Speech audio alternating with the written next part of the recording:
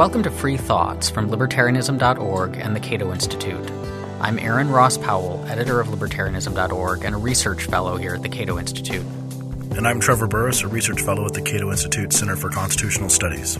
Our guest today is Kevin Glass, Director of Outreach and Policy at the Franklin Center for Government and Public Integrity.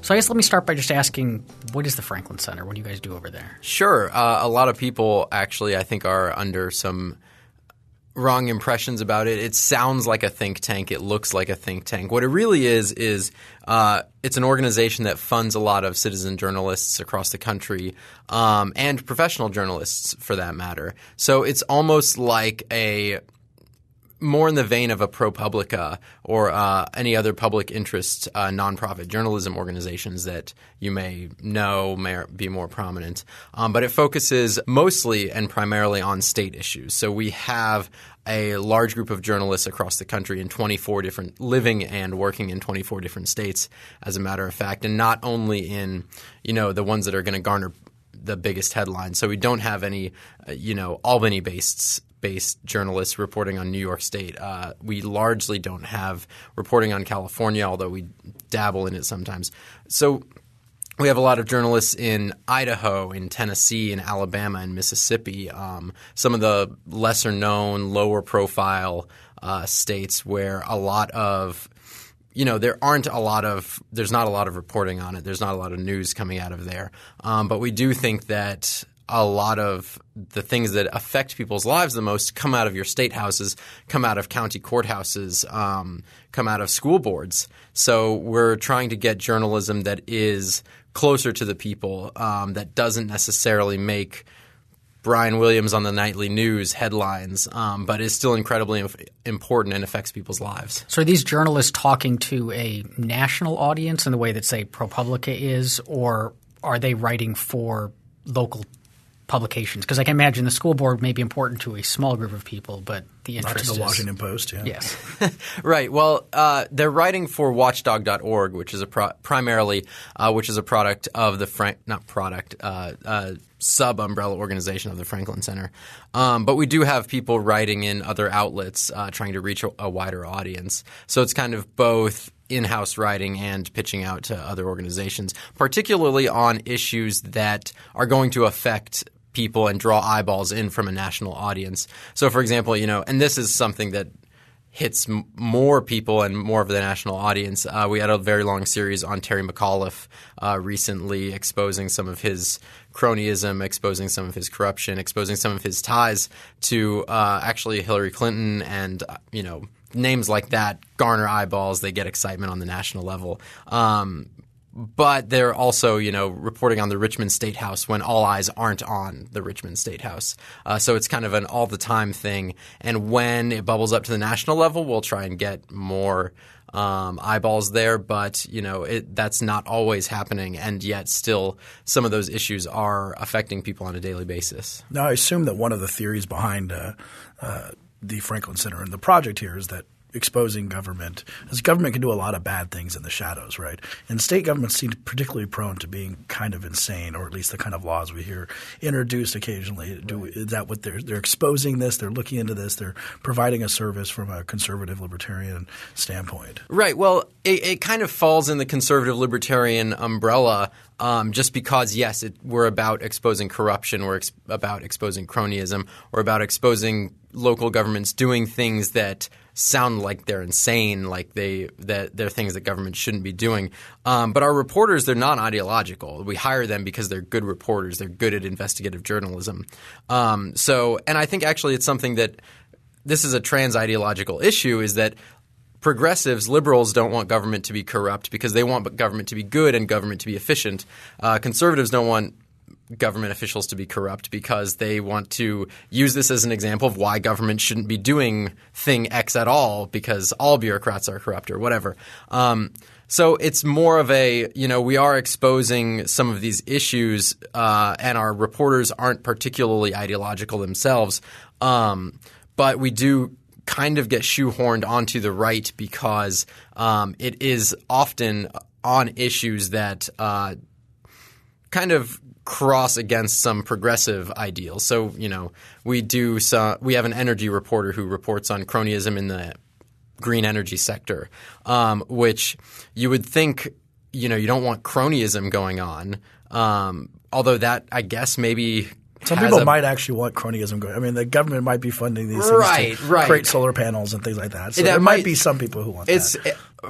If I were to be a progressive apologist, I suppose you you would say you have to get in bed with big corporations sometimes to get your progressive goals. Investing in America's energy future. Yeah, exactly. That's that's the word. Yeah, that's investing exactly. Um, and so maybe there is an apology case to be made there. But still, generally, you talk to an average progressive, a grassroots progressive, they don't want uh, government getting in bed with big businesses.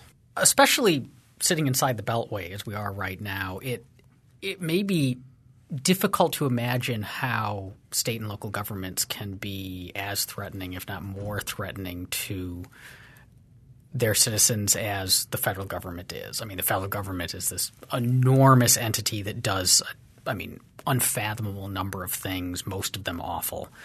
And the state governments are so much smaller. So and some of them even meet intermittently, like the halftime legislators and things like that. Uh, so how much so how much of a danger exactly? Yeah. One of the things that, uh, and I covered national politics uh, previously, and one of the things that is important and, and draws eyeballs, like I've been talking about, is the the amount of money thrown around at the federal government is just astounding. It's billions and billions of dollars, and if I think of one billion dollars in the context of my own life, I'm like, oh my god, that is so much money. I can't believe it. But it's like on you know certain government programs, they're wasting billions of dollars a year. So that obviously has an effect on people's lives, but you know, at the local level, some of the things that affect you on a day to day basis that you might not even think about. So we've been doing a series on um, in different states uh, trying to reform some of their alcohol licensing laws. And that affects if on your drive home you can pick up a handle of Jack Daniels at the supermarket, or you got to drive out of your way to a state-owned liquor store, you know, and that's not maybe that doesn't seem like a huge deal, but on a day to day basis, the amount of things that are happening at the local level that actually affect your life, um, I believe, and um, I think that a lot of our reporters would back me up, is it does affect you more than the federal government wasting $10 billion on solar panels these things add up too. People, you, you often don't see those little oppressions where you realize that you can't buy beer, or you can't buy beer on Sundays, or you can't get in a certain location, or all these other different things. It seems like though, if you think about the founders and the Constitution, you know, they kind of had an idea, at least on partially, that that one of the reasons they didn't want to give that much power to the federal government is because people weren't going to be very good at knowing what the federal government was doing versus knowing what their state governments are doing. Now it seems like people just look at the federal government and ignore the state governments because I'll, I'll, get calls here to Cato that ask me about, you know, why aren't you guys doing anything to stop this? You know, this the federal government's doing this to me, and I'm like, no, I'm pretty sure that's your state government. So the whole thing might have been flipped on its head from what the founders originally thought. Right. I'm, and I don't know founders' intent here, and that could have been one of the motivating factors. But obviously, in the mass communications age, it's not hard to know what the federal government is doing, even if you're out in Idaho or Wyoming or something like that, where it would take days to send a letter. You get uh, CNN on your TV, you get Cato on your internet. You know, um, you have smartphones, you have email, you have all sorts of means of communicating mass communication with the state gov- well with your state legislator in uh, Washington. So and I do think that that's kind of nationalized politics. Well, I think it has definitely nationalized politics to a large extent in that saying, you know, why why should Vermont push for single payer health care when we can all get together and push for single payer health care uh, in Washington D.C. at the federal level? Um, so maybe to a certain extent, that's why I, well, that, I think that is why people are focusing a lot more on the federal government um, because it's easier to. Um, but it doesn't mean that a lot of those state functions have gone away. I mean, um, it might just mean that they're being overlooked, and to a certain extent, that's unfortunate. And I think that a lot of people need to be more cognizant of what's going on both at their state and their local level. I'm also inclined to think that I mean it seems a lot of the attention that people pay to politics is as kind of a spectator sport, right? It's it's fun, or I guess some people find it fun. I don't I don't quite fathom why, but some people You're find in the it, wrong city, Aaron. some people find it fun to follow politics and see what politicians are up to in kind of a gossip mag sort of way, um, and and I wonder if you know the the competition that the multiple media sources and the internet have brought. You know, you need to draw. You're competing with more outlets. You need to draw a wider range of interests, and the federal government impacts all of us. And if it ends up looking like, you know, the way that people tend to watch Major League Baseball far more than they watch, you know, minor league or little league, even though it's happening closer to home. And so, I wonder if part of it is like trying to figure out how to make local politics more interesting so people will will engage with it, you know, to cut against the the pros. Right. I I think that it just seems more like um, you have a bigger team, right? If you're rooting for Team R uh, at the st- at the state level, at your local level, at your county level, you've only got a couple thousand, couple hundred, couple dozen people on your team, um, and those dozen people aren't all that active on Twitter. They don't in, uh, engage with you on Facebook. They're not really getting together for little meetings. Uh, well, they might be. Um, but at the national level, obviously, your team is millions and millions and millions of people. And so I think to a certain extent, it's kind of a desire to belong to a team. And I think mass communication in this area is helping to polarize us um, in that you can stay in your house all day. And I don't want to fall into the cliche of being like those bloggers on their mother's couches. They never leave the home. But it, it, it, it's a way of connecting you with like minded people and being able to galvanize your like minded people, um, not only in your community, but across the country. So uh, in your community, people might not think that Common Core for example, is a great idea and they're not going to institute it at your local school board, that doesn't mean that you can't call your buddy over in Nebraska and say, hey, here's this idea that I think we need to push, and maybe not at the state level, but we can get enough people, uh, get enough of a movement to make a difference at the federal level, um, which I think is a really weird and backwards way of considering our politics that you can create a large enough coalition to move the federal government but not your own state government. Well, it's interesting. Attention might be a rare commodity in the sense that we put all this stuff in Washington D.C. and people come here and they join and they join whatever element they're going lobbying, the Hill, the punditocracy, the shouting shows, any A of think those tank. things, a think tank, yes, any of those things. But then with all this focus of activity, we still don't have enough attention that's even paid on Washington D.C. It would seem there are so many things that happen in the shadows, and I don't mean like smoky rooms where they make deals, which I'm, I'm sure exist, but just things like U.S. agricultural policy, which no one really wants to pay that much attention to, and so they they kind of ignore it because it's like reading printed chloroform if you try and read U.S. agricultural policy. And again, like maybe we're just putting too much into Washington, and for even the attention of this town to actually pay enough attention to check government adequately. Right. Well, the federal government's power to tax is immense. So, like I said, the amount of money being thrown around at the federal level is just, is mind-boggling. And like you said, you know, U.S. agricultural policy makes no sense whatsoever, and there's so much money invested in it. Um, but the stakeholders themselves, the factory farmers, even the quote unquote small farmers, have so much invested um, that it's hard to get a broad based coalition to overcome the people who actually have an interest and a stake in agricultural policy. Um, and there's some interesting work that's been done on that because the sums of money are so large, and I don't remember which economists are working on this, but that large corporations are actually underinvesting in lobbying uh, if you judge by the amount of quote unquote return on investment that because there's so much money at stake they could be actually doing more to get a piece of pieces of those pies. Um, and it might eventually reach a, point where uh, we're at a kind of balance of lobbying and that lobbying becomes less effective because more people are investing in it. But you're right to a certain extent that uh, there isn't enough attention paid to certain amounts of federal policy. But to a certain extent, I think you know it's hard to get a broad-based coalition to say we need to end corn subsidies because it's hard to see how that affects you as a as an individual who lives in, let's say, Chicago, um, rather than a farmer who lives in Nebraska. You need so much energy on the part of people who don't really have a stake in it, other than a couple bucks in their uh, tax return every year. So it, it, it's hard to say that there's not enough attention being paid to the federal government when that is all we're bombarded by on you know national level news. Um, but to a certain extent, you are right that some of the weeds of federal policy still have a lot of sunlight that need. Um, well, it seems that way on like I mean, just as sort of going off that point on the shouting shows, Rachel Maddow is probably not going to have a ten minute segment on corn subsidies.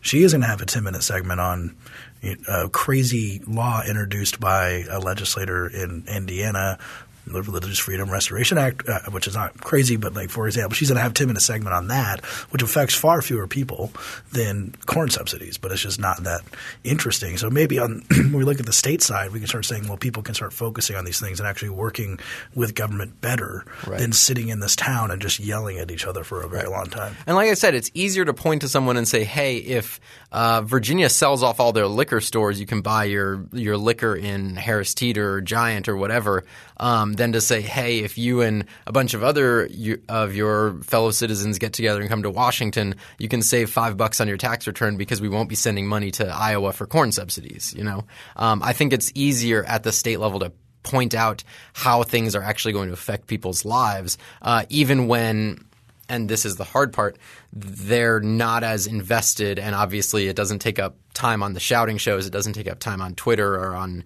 social media or uh, um, wherever else they might get their news. Trevor mentioned the hypothetical local lawmaker making the crazy law, and that makes me hypothetical. Yes, uh, well, no, like uh, because one of the things you notice in kind of these national stories of outrage about something that some lawmaker did is that the really crazy stuff um, seems to happen at in state legislatures, and I, I worked for I interned for a little while during um, between college and law school in the legislature in Colorado, and there were quite a few just outright lunatics who had been elected, um, and so I'm. Is that is that are people crazier at the state level? Is it is it easier to get nuts elected than you know at the national well, level? People are less professional at the at the state level, um, so it is. And to a certain extent, this is charming to a lot of people, and this is why some legislators get elected. Is that it's like uh, the guy next door to you. He he's a he turns out to be a state legislator, and he's got some really crazy ideas on uh, you know trash pickup in the neighborhood or something like that, and how he wants to nationalize trash pickup. Let's say I don't know something like that. Um, but it also they have this affectation and I don't mean to be someone who's coming off like an East Coast cosmopolitan here, but people have an affectation that gets them elected there. And to a certain extent, it's just supply and demand. There needs to there's a demand for far, far, far more legislators at state and local levels. Um, than 500 people on Capitol Hill in DC. So you need a larger supply of people who aren't who are sometimes not as ambitious. They don't want to be a polished politician and not trained on not saying crazy things or whatever. Um, so, to a certain extent, yes, people are less well thought out uh, on at the state level, but that's not to say that uh, there's still not good things that are happening at the state level. So, you guys at the Franklin Center are hiring journalists to cover these stories that you say aren't getting enough coverage, covering these topics that aren't getting enough coverage. Wasn't that, especially that kind of covering the, the local issues, that the dream of internet enabled citizen journalism? Does that play a role in this? Has has citizen journalism kind of sputtered out if it was ever a thing? I'm I don't know the answer to that question. I know, you know, back in the days of Blogspot and uh, early WordPress and things like that. Uh, lot there were lots of quote unquote citizen journalists working on uh, hyper local issues. Um, I think that in the age of mass communication, we've gone away from that. So the local blogger wants to, who's, let's say the local blogger in Florida uh, wants to blog about the Indiana RFRA instead of, you know, some small bore issue at his local level. Um, because everyone wants to have that kind of national level voice. Um, and I think it, to a certain extent, yes, we have gotten away from quote unquote citizen journalists, um, but partly because, as you said, there's a, a, large number of competing news outlets now. Um, back 15 years ago, there were far fewer news websites, uh, there were far fewer uh, news cha- TV, cable news channels, or what have you. So we have a lot more on the national level covering these things. We have a lot more news sources and a lot more news outlets. I mean, when's the last time you went to like a blogspot blog that was actually good and covering some of the local issues. Uh, that to me, and this is anecdotal, I don't have any hard data here. It seems like that was a relatively common thing that happened in the 2000 to 2005 era, um, and I do think that some, to a certain extent, it's gotten away from that. Not to say that there aren't still very good hyper local citizen bloggers, citizen journalists. Um, but it does seem like blogging, quote unquote, I'm using air quotes that no one can see, as a medium has gotten away from that. Um, and in addition to that, why Franklin is the way it is is like I said, we have our journalists are not ideologues. They're not pushing an opinion. They're not pushing a viewpoint, um, and they're writing straight news stories. For the most part, they have professional journalism training, so it's kind of a way of giving an at least air of professionalism, an air of um, non-biased news source to some of these stories. Are you concerned with the death, relative death of local newspapers that we're missing some of the sunlight, shining a sunlight onto practices of local government because these bloggers and journalists write on a national or look more to the national level? To a certain extent, yes. Uh, the the dying of local newsrooms um, and local newspapers um, definitely means that there are issues that are affecting, like I like, like I've said, affecting people's lives on a day to day basis that aren't getting covered all that much. But I do think to a certain extent that is. And I, am a very large believer in supply and demand of journalism itself. It's also the fault of the news consumers at those levels. They they are not interested for the most part in some of that journalism. Um, we want to make them interested it's not easy to do that. Um, so it means that yes, there might be stories that are being uncovered, but uh, it's also the fault of some of those newspapers for not covering them in a way that does interest those people, for covering. Um, you might say the wrong stories or having the wrong beats, uh, things that don't affect people's lives. So, to a certain extent, yes, we're going to miss some of that, but it really needs to be the job of news producers to be able to engage the citizens on that level. When we had been emailing prior to the show, going over what we would talk about, you had mentioned to me that this this divide between what goes on at state and local levels and what should go on and at the federal level was one of the reasons that you tend to think of yourself more as conservative than libertarian. Could you expand on that a bit? Sure. Um, this is not something that I have an academic philosophical justification for, but I do think that uh, the closer that a government is to its people, the more just it is. So this is maybe a explicitly anti-consequentialism argument, but I don't really care if uh, state and local governments are unlibertarian or hostile to freedom even. Um, I, I do care that people have a stake in their government. And the closer that it is, the larger, the, the more outsized that one individual's political influence can be, uh, is more important to me than achieving libertarian ish or conservative or freedom loving um, ends. So, for example, if I lived in Vermont, I would be super against their Obamacare waiver uh, single payer system that they're pushing. But I don't have a problem with it on a philosophical level because within the United States, uh, there's an incredibly powerful right of exit from any state like that, any state regime like that. Um, and I think that that's more important, I think, than put, than just saying that we need to maximize freedom at all levels. And I know that that doesn't necessarily mean I'm not a libertarian. Um, I just believe, I guess, in democracy first and outcomes second. Um, and then why I might be a conservative is, is I'm really skeptical of all regimes to get it right including my own. So I could be very wrong about everything that I'm saying. Um, so I would prefer everything be done slower, which is the kind of classical conservative uh, temperament rather than actual philosophy. It sounds to some degree like you're describing the too often ignored third part of Nozick's Anarchy, State, and Utopia, his his Utopia chapter, where he articulates the view of the utopia of utopias, where people can get together for all sorts of reasons and live all sorts of various lifestyles, but the right of exit makes it, you know, where we care less about the particulars of one because if you don't like it, you can up and move to another. Right. I I'm interested in this is something that just is playing around in my head is uh, uh, some kind of regime where you could get a, a, a, right of exit subsidy or something from the federal government um, for very poor people who can't afford to just up and move around whenever they want to find the best regime that they want to live under.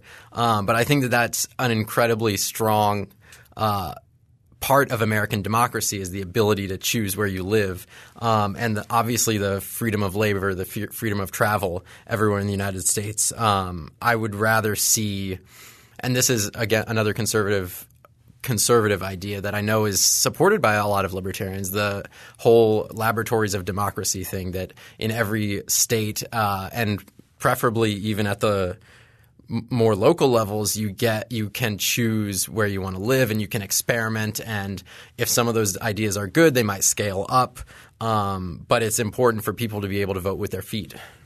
The exit subsidy is, a, is an interesting idea. I mean when i give i give a talk to the interns here about the origins of political obligation and political authority if such a thing exists and in part of that i undercut the notion of the the social contract being a thing, um, and drawn, you know, David Hume kind of savaged the the social contract idea with precisely this like, look, you know, the most of the people, especially in his time, were very poor, didn't have a lot of options, and so when you say things like, well, you know, by staying here, you've agreed to it, or if you don't like it, up and leave, that it's that's not a meaningful choice for them. They they simply right. don't have that option.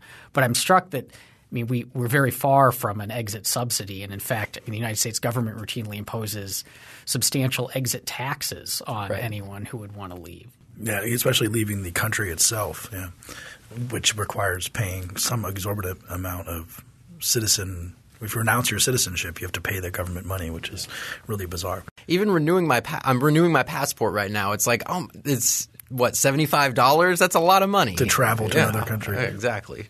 In within the movement, now that we kind of got in the conservative libertarian thing, which is which is a big issue right now, and you've been working in the conservative slash libertarian movement for a while, but it's becoming more and more of a thing about whether or not you're a conservative, you're a libertarian, and the infighting within the within the two groups.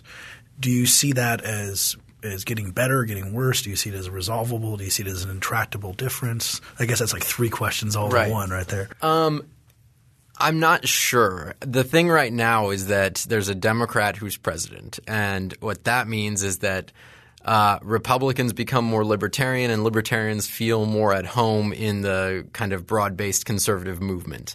Uh, I'm not that old, but I have a fairly good view of history, and I don't think that the arrival of a Republican president into the White House would portend more harmony between libertarians and conservatives than it has in the past. Uh, so it's got quote unquote gotten better in the Obama era because again, President Obama is a Democrat and Republicans act very libertarian when there's a Democrat in the White House, uh, except on foreign policy. But uh, well, even so, actually, there are more kind of Republican realist-ish critics of some of President Obama's foreign policy. Oh yeah, criticizing Libya and things like this. Exactly, A- yeah. absolutely. Just because he's on the other side. Yeah, but I, I have no confidence that a Republican getting into the White House would not mean that there is just as many bobbings or civil liberties infringements or anti-libertarian policies emanating out of Washington. And do you see? uh, Because I could definitely see conservatives, pra- practical. I'm putting that in scare quotes too. Uh, practical conservatives, more Republican-minded people, you know, saying, "Well, we got the presidency now. Let's just do some things," and the libertarians saying, "Well, we don't want to do." Bad things or things that are half measures are going to have bigger problems in the future. So we could a Republican president could exacerbate that divide possibly. Oh, absolutely. I mean, look at the George W. Bush era. You know, he, I can't name a libertarian-ish policy that he passed, except maybe the tax cuts, which, um, maybe exactly. Um, I'm not sure any of the prospective Republican candidates, maybe Rand Paul, but he has some very unlibertarian uh, leanings as well.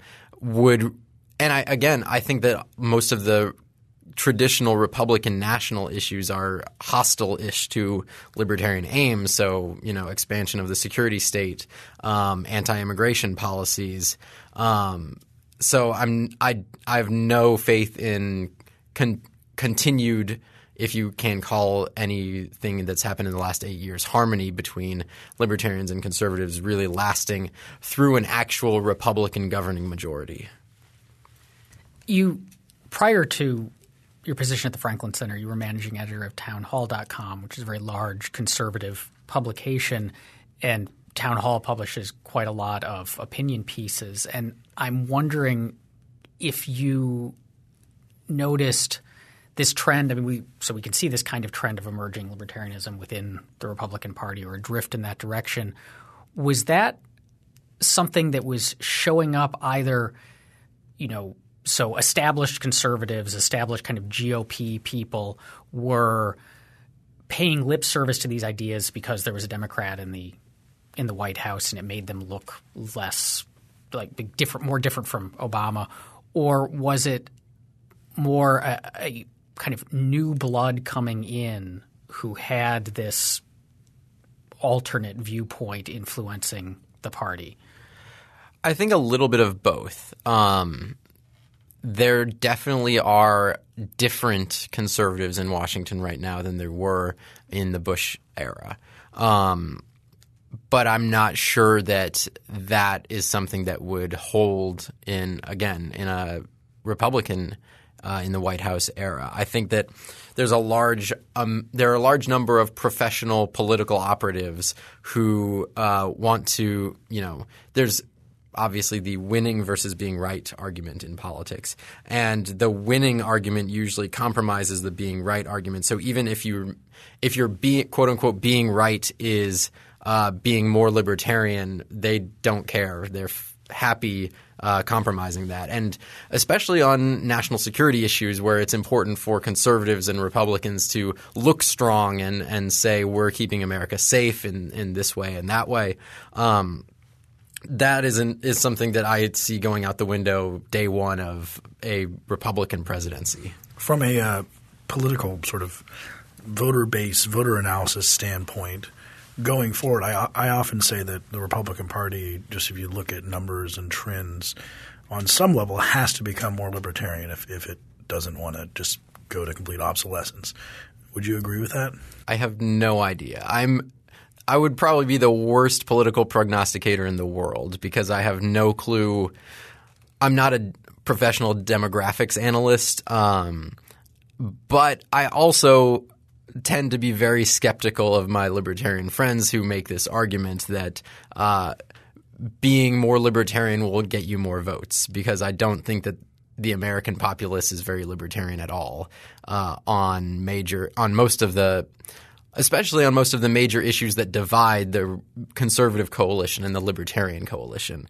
Um, and I think and this is just me, maybe just me projecting. I think that the issues on which you can find polling in favor of libertarianism over conservatism, that's largely people lying to pollsters. So they say, uh, you know, I want to repeal the Patriot Act. Um, but the moment a minor terrorist at- attack is to happen, uh, they will be very happy with Republican policies on un- unlibertarian Republican policies on basically anything. But what about trends like gay marriage or or civil liberties, okay. civil justice, criminal justice yeah. reform, things that conservatives kind of led the, the, the charge on, and now maybe have to roll back as people are realizing that these are not good things. Sure. Uh, on gay gay marriage is a really interesting question that uh, I think will not be a question in ten years um, maybe even faster than that. Uh, and I used to tell all my friends who were well, and all my friends are basically progressives. I just have progressive friends who would say, you know, how can the Republicans be so terrible on, on gay rights? And I would say, you know, that's not going to be an issue in 2030. And I was wrong. It's not going to be an issue in 2020. It's and that's just going straight up going away. Um, and no one really wants to say it. None of the professional uh, conservative activists on these issues really want to say it or admit it. But it's just it's not going to be a thing. Um, what will be interesting is a breakdown on social issues. And I know not all libertarians are uh, pro choice, but it kind of gets defined in that social issues bucket as uh, you know libertarians are socially liberal, uh, so they're pro-choice, they're pro-gay marriage, they're pro-drugs, they're pro other things too, uh, pro-criminal justice reform. Um, but younger conservatives are are just as, if not more, pro life than their the preceding generation of conservatives, and that goes for kind of the country at large. Um, so on on social issues, you might say it doesn't break down as cleanly as on gay marriage, um, and definitely the Republican Party will ev- evolve on this, just as President Obama evolved on this. Uh, it'll just take them ten more years. Do you see a conservative? Uh, movement or possible case for rolling back or ending, ending, parts of the drug war, rescheduling marijuana? Is that something you see that could possibly change within the next 10 years? Uh, I don't know about rescheduling marijuana. I think that certainly there's more conservative movement in the last year, two years on a lot of criminal justice reform issues. Um, and they were very, a lot of conservatives were very angry at uh, President Obama's Justice Department saying we're not going to enforce federal laws in Washington and Colorado. But uh, to a certain extent, I think that was anti, just plain up anti-Obama sentiment, um, and to a certain extent, I think it was uh, conservatives complaining about liberal hypocrisy and not, and liberals not being punished for it. Right? Is saying that and Obama ex- executive overreach and all of that, saying that oh they just think that they can't they can and uh, not enforce the laws where they want to. Um, but I have seen a lot of conservative movement, um, and maybe not necessarily rescheduling marijuana, but uh, actually on Capitol Hill, there's been a fairly large anti-mandatory minimums uh, lobby that's propped up, that's been that's cropped up, and that is encouraging to me, and I think that uh, on a, a, lot of criminal justice issues, um, the 90s are gone. And in the 90s, crime itself had spiked, and it was this big nationwide issue, and that's kind of gone out the window now. Um, and crime has been falling. And I think that conservatives are realizing that a the war on drugs hasn't worked, and B, it's just not that big of an issue anymore. Um, so now the bigger issues, and I went to the Criminal Justice Reform Summit last week. It was really interesting. Um, Newt Gingrich was there. Um, Pat Nolan, who works for the American Conservative Union, was there. Um, and they really brought in kind of the conservative Christian perspective, um, pushing redemption narratives, saying that uh, you know Christians believe in redemption, uh, conservatives should believe in redemption and second chances. So I think there's a large movement against a lot of the hard on crime policies of the 90s. Um, whether that leads to actual rescheduling of marijuana and uh, other drugs or or other, I guess, rehabilitation measures remains to be seen, but certainly you could say that they're pulling back from these hard, this hard on crime stance that they've had for a long time. One of the more baffling and new trends that we read about a fair amount right now. It seems to be particularly hot in the last few weeks. Um, is this kind of overabundance of uh, anti tolerance on campuses? The the notion that you know you should never say anything that might upset anyone and that everyone should be protected. And it's kind of it's like a rehashing in a way of the early 90s politically correct movement that that sputtered out and now seems to have come back with a vengeance.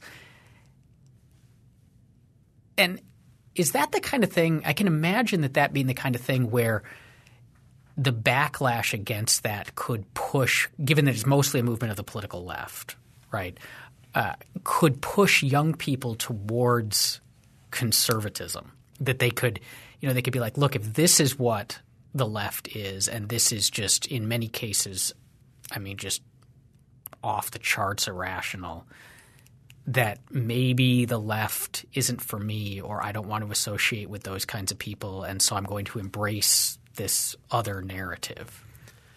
Uh, again, I'm not well, I'm not a college student anymore, so I don't know how your your run of the mill college student thinks about these things. But I think to a certain extent, this is a factor of the internet and of mass communication. So you can say the PC movement of the 90s died out, but now all those people who had those tendencies in the 90s can all get together on Tumblr um, and talk about you know the issues that matter to them, um, and then bubble that up into their college campuses, into their uh, you know safety counselor guidelines, things like that. Um, I don't know how much it is bothering your run of the mill college student who might ordinarily line up as a progressive if not for uh, progressive speech codes on campus or things like that, it might. Um, certainly, that's an issue on which I would say the conservative coalition and the libertarian coalition are pretty firmly aligned um, in favor of not not punishing people for certain speech violations. Let's say, um, although I will say that to a certain extent, conservatism pushes. Uh, kind of social pressure over government pressure, right? They say that social norms will take the place of not of being able to do anything um, in the absence of a government mandate. So to a certain extent, the left is triumphing there. They're saying, well, we're changing the social norms. You can't say that anymore. You can't do that anymore. And all we're doing is we're publicizing it. And then your employer, we're not telling your employer anything, but we're publicizing that you told this horrible joke and now you're getting fired for it. And like this is a social norm. You can't do that anymore. Um, so now I, I've seen at least conservatives kind of pull back and say social norms can't be everything, and like we can't just because social norms are more important than gov- than government mandates uh, doesn't mean that all social norms are good. Um, so I think we're going to see that fight play out a little bit in the future. As for actually pushing people away from progressivism, I think it remains to be seen. I haven't seen all that much movement on that in particular. Um, so going forward with uh, youth and with local government and different uh, changes that are happening in terms of conservatism and libertarianism. One of these terms that we hear, and I know Aaron hates it, the libertarian moment, uh, which uh, we like to use around here sometimes. Uh, do you think that there's a possible libertarian moment happening, or is that all just a bunch of fluff? I think it's a bunch of fluff. Like I said, I think that most of the polling that shows the American public receptive to libertarian ish ideas and ideals uh, is hogwash. And when it comes to actually supporting certain policies, they're going to be against it. So, can you give us uh, the libertarian something to hope for? Uh, that, is, is that, that, would be a horrible way to end the pot. It was just like, oh man, like uh, it's it's it's nothing. It's uh, people they say they're libertarian, they're actually not. They really want command and control. They really want safety over over liberty, which is probably true, but.